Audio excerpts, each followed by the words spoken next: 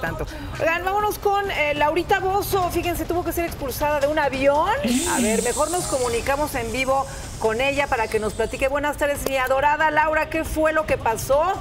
Mi reina, un beso para ti, para todos, para, para todos en el set que los extraño. Y nunca me expulsaron de ningún avión, por favor. Eso fue un chisme de un programucha que para, para hacer rating siempre esa señora busca pues este, inventar y sobre imágenes, imágenes. También así que yo nunca he tenido maleta, nunca viajo con maleta, porque yo voy a Acapulco y vengo casi dos, tres veces por semana, yo nunca llevo maleta ni nada. Tengo 20 años viajando en esta línea aérea, todas las niñas me quieren, me adoran. Me tomo fotos con ellas porque siempre me están calmando porque me vienen ataques de pánico en el avión, les tengo terror al avión. Y en ese momento tenía mi cartera, era lo único que yo llevaba y la quería poner debajo del asiento me la pusieron subida a la parte de arriba y a mí no me gusta separarme de mi cartera, entonces ese fue todo el problema, yo no tenía ni maletín de mano, ni maleta, ni, absolutamente nada. Y sobre las imágenes que no dicen nada, porque yo nunca entré ni a la cabina ni nada, me acerqué cuando, cuando estaba la señorita hablando con el piloto, me acerqué pero de atrás, nunca me metí a la cabina, que es delito federal, y ahí se armó todo un enredo porque se habló encima y decir la verdad.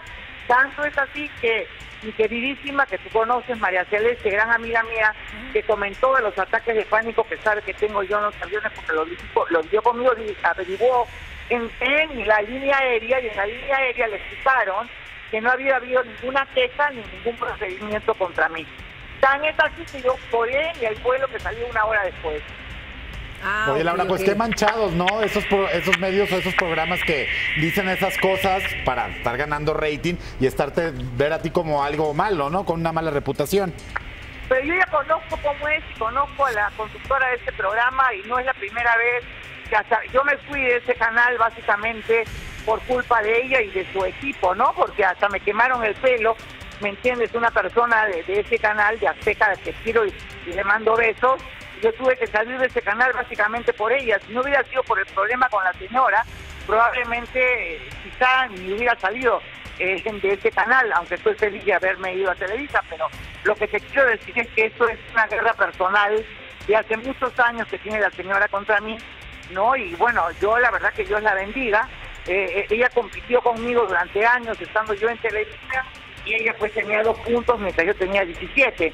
Esa es la realidad, ella está en un canal donde se le permite estar a pesar de no tener rating por su amistad con toda la gente del canal y qué suerte, qué bueno, bien por ella, que Dios la bendiga, pero que no manche y que no invente cosas, ¿me entiendes? Y que hable sobre en las imágenes cuando yo ni siquiera tenía maletín de mano. Claro. Laura, qué bueno que, afortunadamente no pasó nada, que no te bajaron de ningún lugar. Aprovechamos y te mandamos un cariñoso abrazo. Buenas tardes. Los quiero. Beso, mi Mónica. Besos.